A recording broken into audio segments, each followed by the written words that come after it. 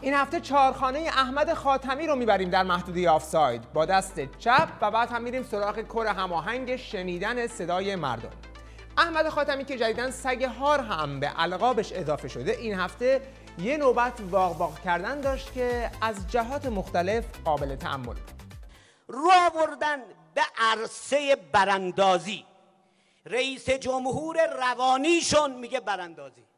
وزیر خارجهشون میگه براندازی.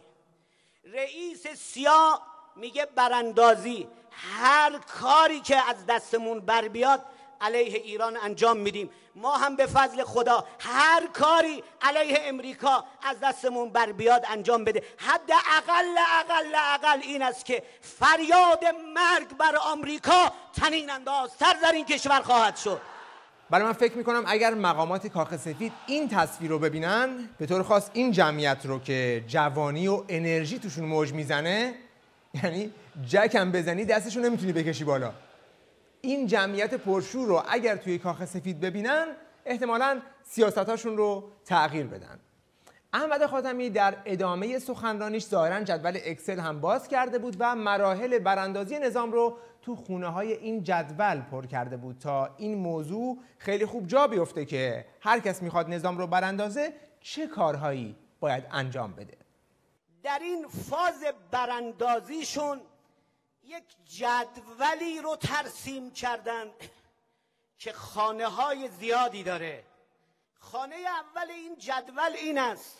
که برای آسیب زدن به نظام رأس قله این نظام یعنی ولایت رو هدف قرار بدیم. شیبشون رو شیب اهانت به رأس نظام قرار بدن. هرچی شما توطعه می‌کنید علاقه مردم ما ارادت مردم ما بیشتر میشه. هفته قبل خطبه خوندم. تا اینها رو گفتم شما گفتید خونی که در رگ ماست هدیه به رهبر ماست. به زور هم که شده می‌خواد شعار رو از جمعیت وارفته بیرون بکشه. البته از نگذریم ارادت مردم داره واقعا به این شخص بیشتر میشه و الان دیگه دیواری نمونده که روش اسم خامنه ای نباشه. اشتیاق عجیبی به طور خاص در جوانها ایجاد شده که همه جا حتی وقتی اسمش رو پاک می‌کنن دوباره اسم خامنه ای رو روی دیوار بنویسن. مرگ بر خامنه ای بود پاکش کردن دوباره آمدیم نوشتیم ویدیو دومه که می‌گیرم. باز دوباره مرگ بر خامنه ای رو پاک کردن. دوباره آمدیم نوشتیم. خب برگردیم به جدول خاتمی. خانه دوم این جدول عبارت است از ناامید کردن مردم. مردم احساس کنن همه چی به هم ریخته. قطعا چنین نیست. آهان مردم این که شما می‌بینید هیچی توی سفرتون نیست شما اشتباه می‌بینید ایشون درست میگن.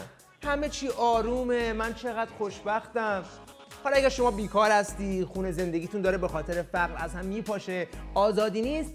از این حکومت نامید نشیدا. چون احمد خاتمی گفت قطعا چنین نیست. و مسئولین مملکت همونطور که به وعده هاشون از اول انقلاب عمل کردند مسکن فقط می‌سازیم. آب و برق را مجانی می‌کنیم اتوبوس را مجانی می‌کنیم. حتما به این وضع هم رسیدگی می‌کنند. ایجاد آشوب و ناامنی خانه سوم این جدول هست. در این عرصم برخی از کانال ها در فضای مجازی آتش بیار معرکن. ما گفتیم باز کنید باز فتنگری ها شروع میشه. و ملاحظه میفرمایید این شیاطین در فضای مجازی بنا دارن در هر مناسبت مقدسی شرارت کنند. بله پس هماهنگی برای شرارت هم به عهده فضای مجازیه. دوستانی که می‌خوان فتنگری کنن با کانال های شیاطین در تلگرام و اینا ارتباط بگیرن و تو مناسبت های پیش رو برای شرارت برنامه ریزی کنن چهارمین خانه این جدول تشدید فشار اقتصادی است. به فضل خداوند مردم ما تا الان ایستادن از این به بعد هم خواهند ایستاد. بله اتفاقا مردم ایران تا به حال جلوی شما ایستادند و باز هم خواهند ایستاد تا روزی که این حکومت و فشارهای اقتصادی که با خودش آورده جمع بشه. این اون چیزیه که احمد خاتمی توی خطبش نمیگه ولی در خیلی از تریبونهای دیگه داره روز و شب بیان میشه که این مردم با این نظام مشکل دارن. نسل انقلاب کرد این نسل نه اون نسل انقلاب کرد بخشش بود نه این نسل اینجوریه. این هم تیپای مختلفه. شما اونو چی مینامین؟ یعنی اون گروه از مردم در اون مقطع 97 درصد یعنی قالبشون موافق بودن با این سیستم مثلا جمهوری اسلامی. ولی الان به نظر میاد حالا اون چیزی که ماها داریم تو جامعه می‌بینیم این که اون 97 درصد دیگه وجود نداره. این الان چه ربطی داشت به سوال قبل؟ خب. چه ربطی داشت؟ وقتی کم میاره میگه چه ربطی داشت؟ ربطش اینه که بابا جان این جمعیت ایران که اکثریتش رو جوون رو تشکیل میدن دیگه شما رو نمی‌خوان. خب بابا اگر صدای اینا رو نشنوی جاروتون می‌کنن. هیچ کس نمی‌تواند ملت بزرگ ایران را از بیان اظهار نظر و نقد و انتقاد و حتی اعتراض باز دارد. رژیم گذشته به این دلیل همه چیز را از دست داد. که صدای نقد مردم را نشنید. برای حکومتی که فقط می‌خواهد صدای انقلاب را بشنود بسیار دیر است. حکومت ها باید صدای نصیحت مردم انتقاد مردم و اعتراض مردم را به خوبی بشنوند. خب حکومت ها بشنوید.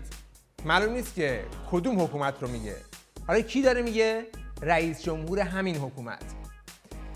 تنها فرضیه که می‌تونه به این صحنه معنی بده اینه که ما بپذیریم که این طرف از یک اختلال دو شخصیتی رنج می‌بره. گاهی وقتا توی یک شخصیتی میره که حکومت رو به چالش می‌کشه و گاهی وقتا میره توی جلد رئیس دولت و برای همون مردم معترض خط نشون می‌کشه. حالا اینکه یه عده‌ای بیان کاری انجام بدن شعار خلاف قانون خلاف خواست مردم توهین به مقدسات به ارزش‌های انقلاب تخریب اموال عمومی. اینکه خب حالا یک اقلیتی هستن یک گروه کوچیکی هستن تو بعضی از شهرها این ملت ما به خوبی اینا رو جمع می‌کنه چیزی نیست. یعنی حالا یه اقلیتی توی 140 شهر بیان بیرون و شعار ساختار شکنانه بدن که چیزی نیست. اما وقتی دوباره توی یه کنفرانس دیگه ازش سوال می‌کنن بالاخره تو صدای مردم رو شنیدی یا نه؟ دوباره میره توی اون یکی شخصیتش. جناب رئیس جمهور شما گفتید تا دیر نشده باید صدای مردم رو شنید.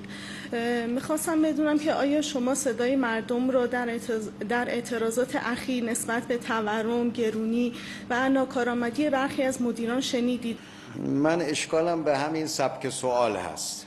یعنی شما وقتی خواست مردم رو می‌برید فقط در بخش اقتصاد همین نشنیدن صدای مردم هست. بله مردم در زمینه اقتصادی هم نقد دارن اعتراض دارن به حقم دارن. ولی اعتراض مردم فقط بحث اقتصادی نیست تو بحث اجتماعی تو بحث سیاسی تو بحث روابط خارجی. خیلی مردم حرف دارن. گوش ما باید کاملا شنوا باشه. بله. گوش باید کاملا شنوا باشه. ولی شما گوش شنواش رو پیدا کن تا ما بهتون حرفای مردم رو تحویل بدیم. تو بحث اجتماعی این. تو بحث سیاسی. تو بحث روابط خارجی هم شعار مردم اینه. ولی اونی که باید این صداها رو بشنوه کیه؟ احمد جنتی که رئیس خبرگان و دبیر شورای نگهبانه میگه نباید خود را از مردم جدا کرد. وضعیت معیشتی مردم بسیار بد است. البته من وارد این حوزه نمی‌شوم چون کاری از دستم بر نمی آید پس معلوم نیست توی این چهار دهه گذشته تو شورای نگهبان و خبرگان نقش دکور داشتی؟ این از این اونی هم که ولی فقیه نظامه که این حرفا اصلا تو کلش نمیره. اینی که فلان انسانی از یک حقی محروم بمانه و اعتراض بکنه یا این اعتراض کننده ها حالا صد نفر 500 نفر بیان یه جایی جمع بشون و حرف خودشون رو بزنن این یه مطلب است. اما اینها ربطی ندارد به اینکه کسانی بیان از اجتماع مردم استفاده کنن علیه اعتقادات مردم حرف بزنن علیه نظام جمهوری اسلامی اینا دو مقول است. اینا رو با هم مخلوط نباید کرد. خب اینم از ولی فقیه نظام. در مورد روحانی هم که داره توی دو نقش بازی می‌کنه این رفیقش همه چی رو لو داد که بابا این خودش امنیتی ترین آخوند نظام بوده. طرف میاد سی سال 20 سال خودش تو حکومته. مثل اپوزیسیون ضد انقلاب مسلح حرف می‌زنه تو تلویزیون. اینجوری حرف می‌زنه. میگه سی و هشت سال اعدام و کشتار. تا آقا خودش روحانیه معممه. خودش همیشه تو حکومت مسئولیت امنیتی داشته. اصلا ما امنیتی ترین آخوند کشور حالا اسمشون نمی‌برم ابن نداره اصلا تخصصش تو کار امنیتی و اطلاعات رو بگیر ببنده. و خوبم هست لازم هم بوده. بنابراین تا جایی که به درون نظام برمیگرده همه مقامات دارن اعتراف می‌کنن که صدای انقلاب مردم رو باید شنید و مردم هم حق اعتراض دارن. ولی موقع پاسخگویی به اعتراضات که می‌رسه جز پاسکاری به همدیگه و در بردن خودشون چیزی برای گفتن ندارن. پس برای مردم هم جز حرکت کردن طبق اون جدول براندازی راه دیگه ای باقی نمیمونه.